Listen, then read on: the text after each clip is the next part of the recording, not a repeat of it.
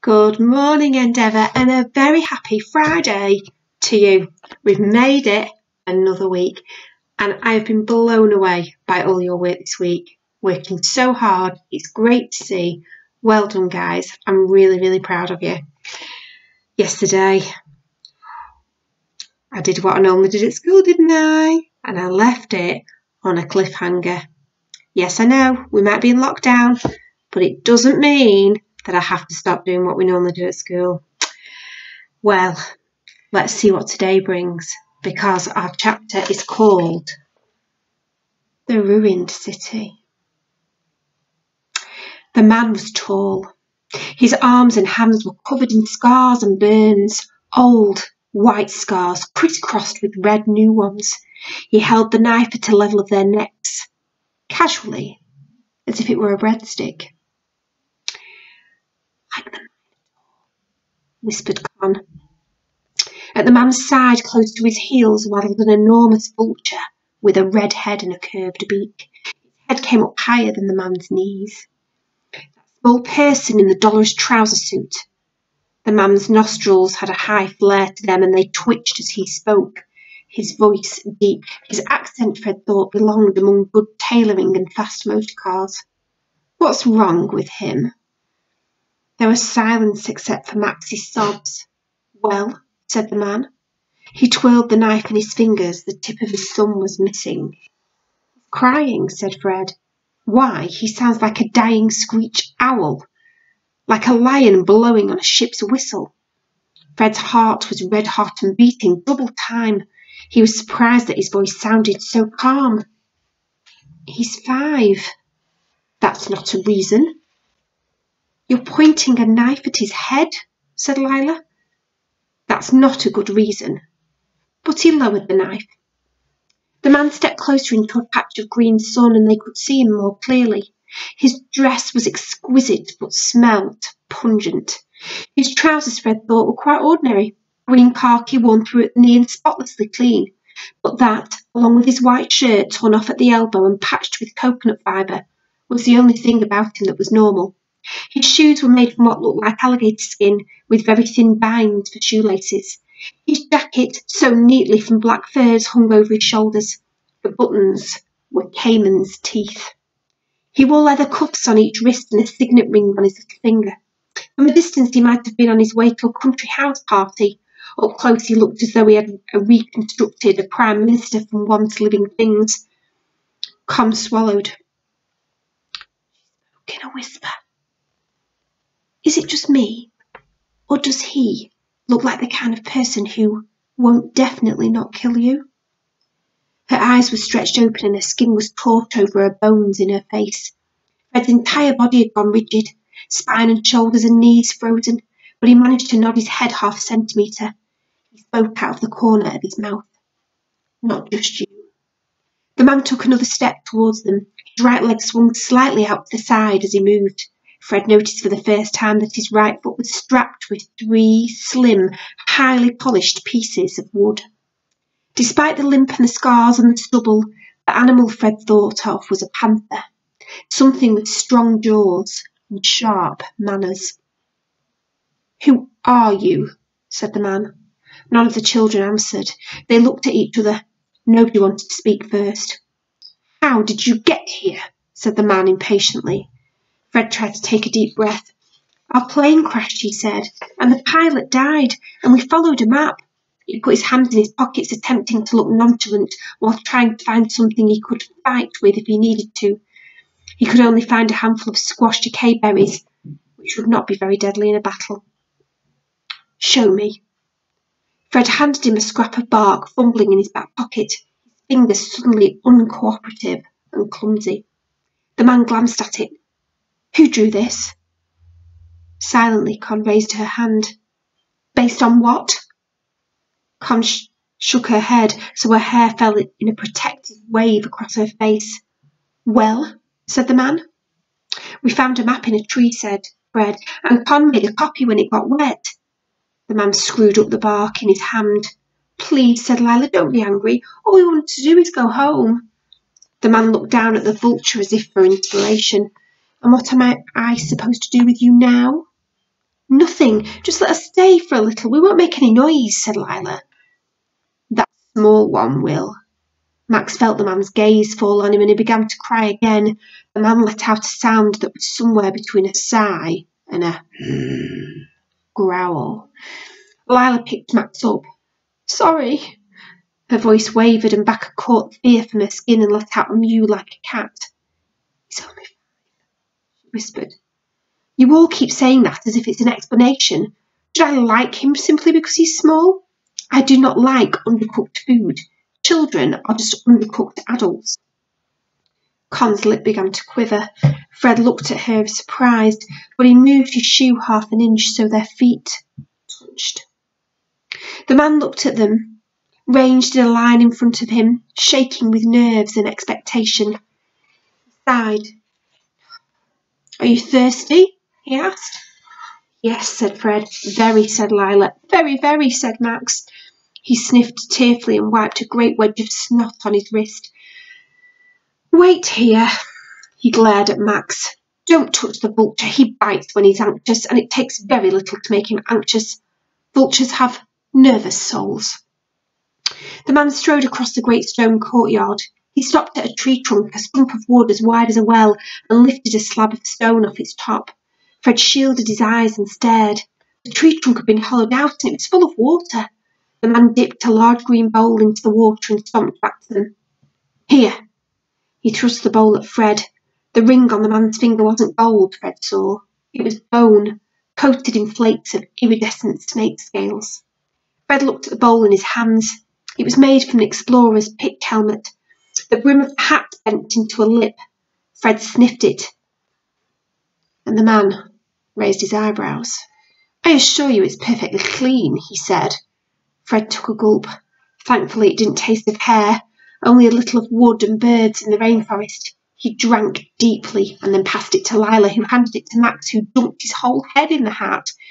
The man waited until all four had drunk, and then he took back the bowl and offered it to the vulture. As the vulture drank, the man rested his hand on the bird's head and stroked its wattle with his thumb. His face was tense. What is it that you want? he said. The children looked at each other. We want help to get home, said Lila.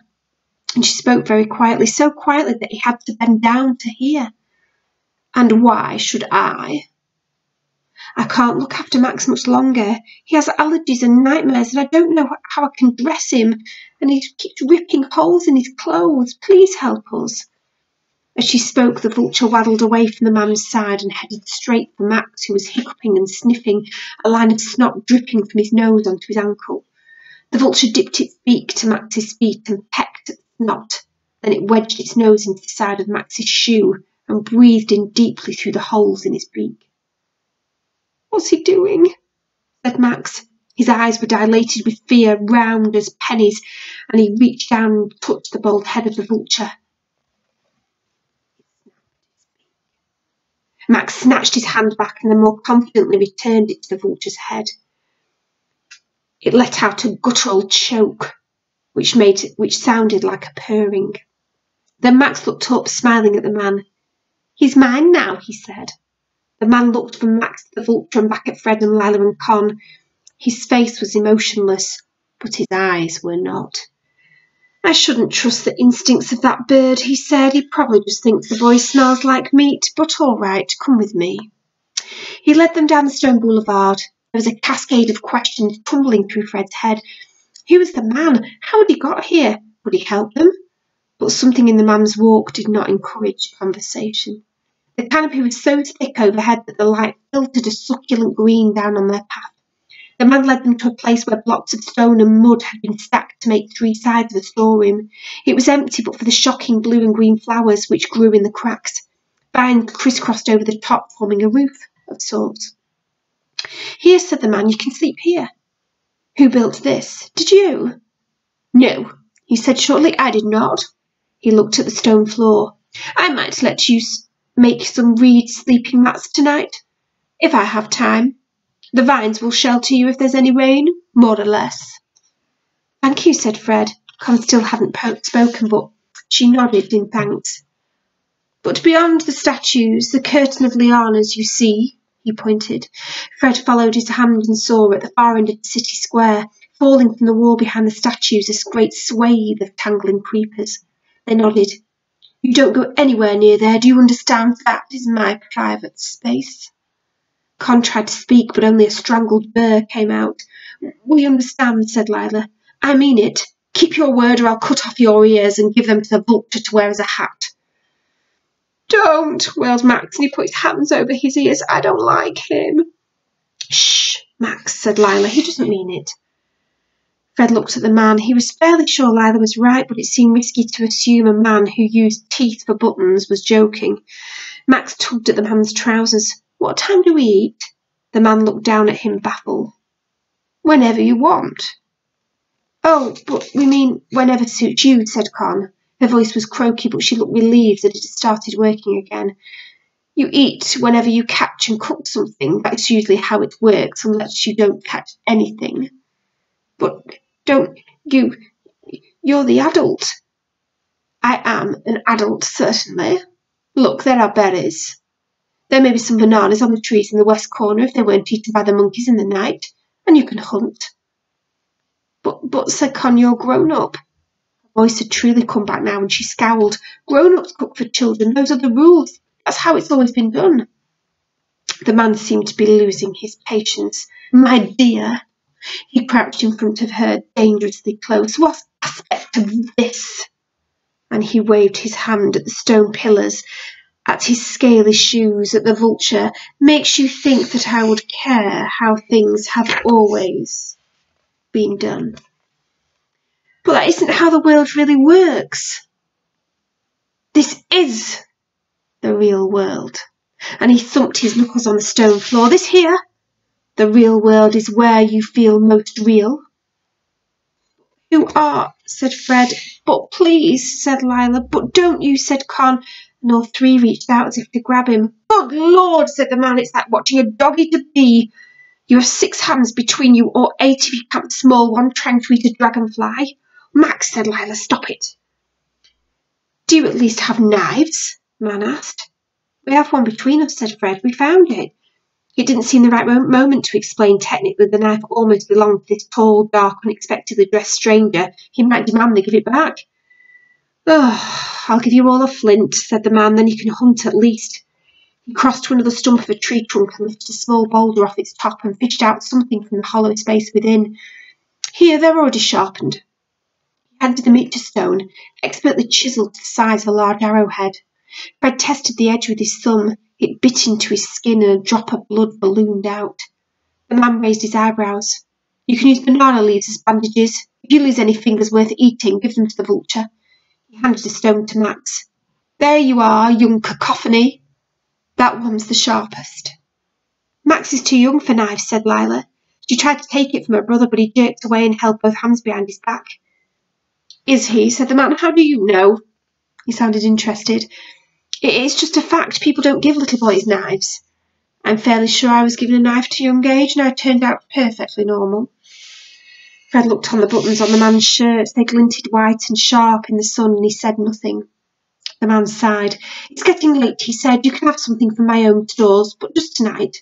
Don't think it's going to be a routine. You have to hunt for yourself. All four let out deep sighs of relief. The man strode back to the hollowed out trunk and bent into a pile of stones next to it. Up close there seemed to be arranged something more definite than a pile, a rectangle with wide slabs across the top.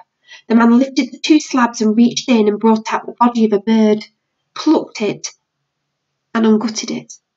A caracara, he said, and he dropped it into Fred's hands. It was cool and clammy. They're common as rats here. Thank you. Could you tell us how to sort it out? Fred asked tentatively. With the flints, boy. But how's the best way, sir? he added, just in case. When the first man learnt to cook, he did so without a recipe book, and it worked out. You work it out. The four of them stared at him. He sighed. Cut along the stomach, scoop out anything that looks too detailed, and cook the rest. A rule of thumb with innards, it would take more than one colour to draw it. Don't eat it. So kidneys are fine, all reddish brown, intestines less so, unless you're feeling exceptionally brave. But just quickly before you go, how do we cook it? said Lila. With fire?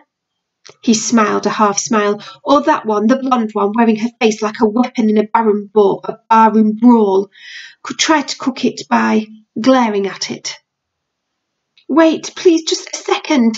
Fred made a last effort as the man turned to go. Who are you? What do we call you? What is this place? How did you get here? Are you an explorer? Do you live here? Are you planning to help us? We need to know.